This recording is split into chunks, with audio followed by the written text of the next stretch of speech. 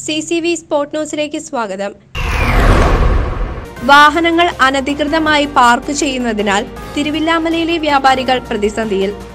തിരുവില്ലാമല ടൗണിലെ വ്യാപാരികളാണ് തങ്ങളുടെ ദുരവസ്ഥ സി സി വി അറിയിച്ചത്. പല വാഹനങ്ങളും വ്യാപാര സ്ഥാപനങ്ങളുടെ മുന്നിൽ പാർക്ക് ചെയ്ത് സ്ഥലം വിടുകയാണ് പതിവ്. എന്നാൽ ജോലിക്ക് പോകുന്നവരും മറ്റും വാഹനമെടുക്കാൻ വരുന്നത് തന്നെ വൈകുന്നേരമോ രാത്രിയോ ആണ്. അതിനാൽ ഇത്തരം അനധികൃത പാർക്കിംഗ് മൂലം വ്യാപാരികൾക്ക് സ്വന്തം കടകളിൽ സാധനങ്ങൾ ഇറക്കണമെങ്കിൽ പോലും ഏറെ ബുദ്ധിമുട്ടാണ് അനുഭവപ്പെടുന്നത്.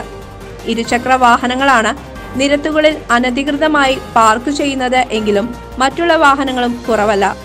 അധികൃതരോട് പലതവണ പരാതികൾ പ്രസ്തുത വിഷയത്തിൽ അറിയിച്ചിരുന്നുവെങ്കിലും യാതൊരുവിധ നടപടികളും സ്വീകരിച്ചിട്ടില്ല എന്നാണ് വ്യാപാരികളുടെ ആരോപണം.